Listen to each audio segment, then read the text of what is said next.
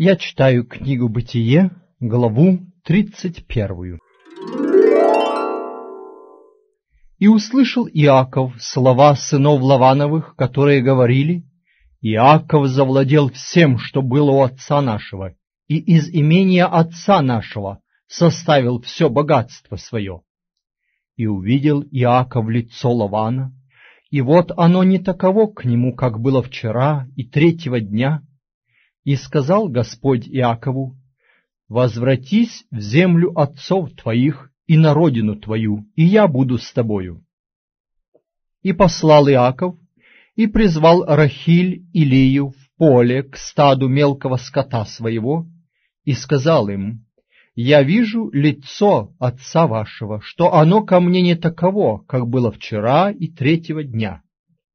Но Бог отца моего был со мною, вы сами знаете, что я всеми силами служил отцу вашему, а отец ваш обманывал меня и раз десять переменял награду мою, но Бог не допустил ему сделать мне зло.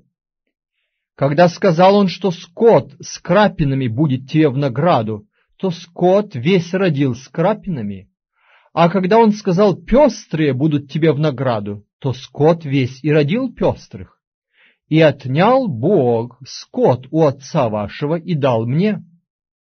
Однажды в такое время, когда скот зачинает, я взглянул и увидел во сне, и вот козлы, поднявшиеся на скот, пестрые с крапинами и пятнами. Ангел Божий сказал мне во сне, «Иаков». Я сказал, «Вот я». Он сказал, «Возведи очи твои и посмотри». Все козлы, поднявшиеся на скот, пестрые, с крапинами и с пятнами. Ибо я вижу все, что Лаван делает с тобою. Я Бог, явившийся тебе в Вифиле, где ты возлил елей на памятник и где ты дал мне обед. Теперь встань, выйди из земли этой и возвратись в землю родины твоей. Рахиль и Лия сказали ему в ответ, есть ли еще нам доля и наследство в доме отца нашего? Не за чужих ли он нас почитает? Ибо он продал нас и съел даже серебро наше. Посему все богатство, которое Бог отнял у отца нашего, есть наше и детей наших. Итак, делай все, что Бог сказал тебе. И встал Иаков, и посадил детей своих и жен своих на верблюдов, и взял с собой весь скот свой и все богатство свое, которое приобрел, скот собственный его, который он приобрел в Месопотамии, чтобы идти к Исааку, отцу своему, в землю хананскую. И как Лаван пошел стричь скот свой, то Рахиль похитила идолов, которые были у отца ее. Иаков же похитил сердце у Лавана армянина, потому что не известил его, что удаляется и ушел со всем, что у него было, и, встав, перешел реку и направился к горе Галаад. На третий день сказали Лавану, что Иаков ушел. Тогда он взял с собой родственников своих и гнался за ним семь дней и догнал его на горе Галаад. И пришел Бог к Лавану армянину ночью во сне и сказал ему, «Берегись, не говори Иакову ни доброго, ни худого. И догнал Лаван Иакова. Иаков же поставил шатер свой на горе, а Лаван со сродниками своими поставил на горе Галаад. И сказал Лаван Иакову, что ты сделал? Для чего ты обманул меня и увел дочерей моих, как пленных оружием? Зачем ты убежал тайно и укрылся от меня и не сказал мне, я отпустил бы тебя с весельем и с песнями, с тимпаном и с гуслями. Ты не позволил мне даже поцеловать внуков моих и дочерей моих. Безрассудно ты сделал. Есть в руке моей сила сделать вам зло. Но Бог Отца нашего вчера говорил ко мне и сказал, «Берегись, не говори Иакову ни хорошего, ни худого». Но пусть бы ты ушел, потому что ты непременно, нетерпеливо захотел быть в доме отца твоего. Зачем ты украл богов моих? Иаков отвечал Лавану и сказал, Я боялся, ибо думал, не отнял бы ты у меня дочерей своих.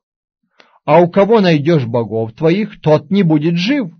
При родственниках наших узнавай, что у меня, и возьми себе. Иаков не знал, что Рахиль украла их.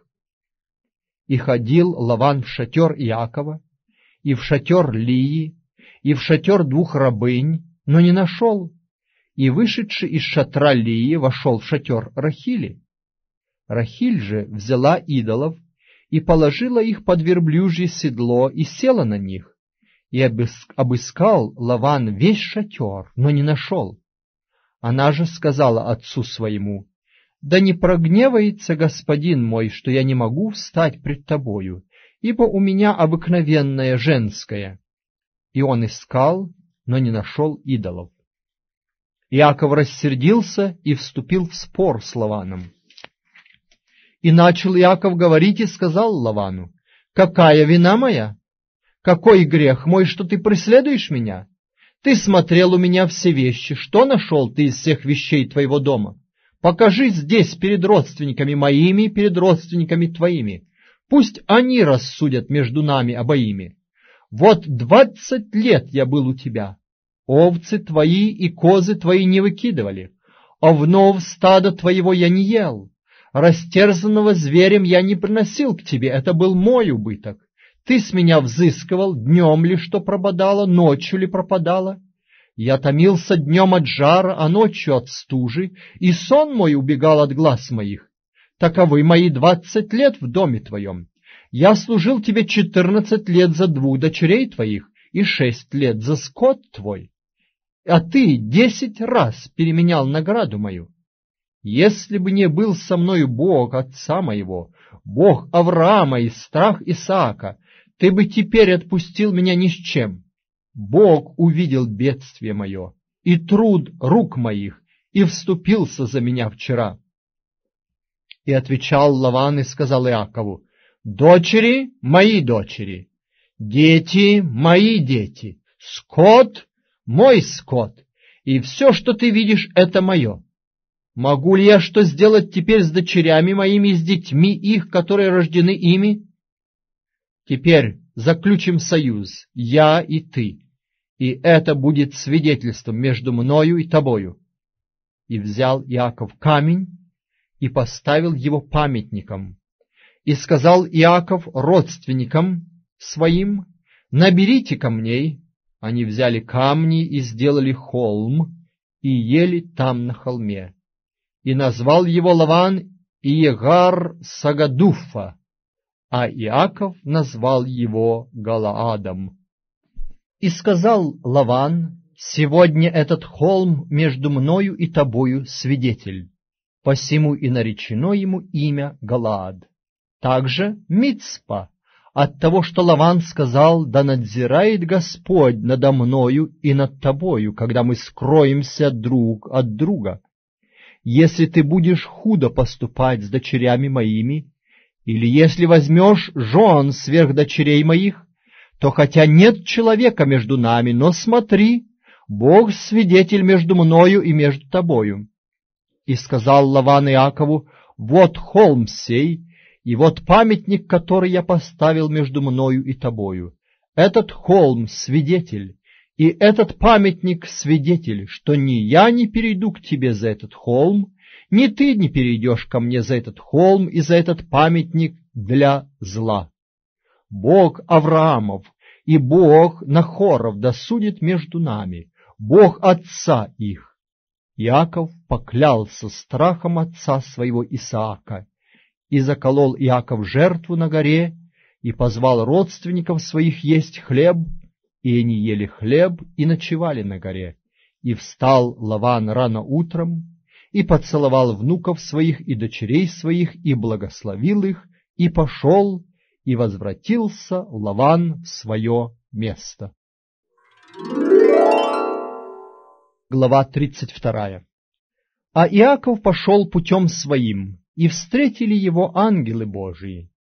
Иаков, увидев их, сказал, это ополчение Божье, и нарек имя месту тому Маханаим. И послал Иаков перед собой вестников к брату своему Исаву в землю Сиир в область Едом. И приказал им, сказав, так скажите господину моему Исаву, вот что говорит раб твой Иаков. Я жил у Лавана и прожил до ныне. И есть у меня валы и ослы, и мелкий скот, и рабы, и рабыни, и я послал известить об этом господина моего, дабы приобрести благоволение пред очами твоими. И возвратились вестники к Иакову и сказали, «Мы ходили к брату твоему Исаву, он идет навстречу тебе, и с ним четыреста человек».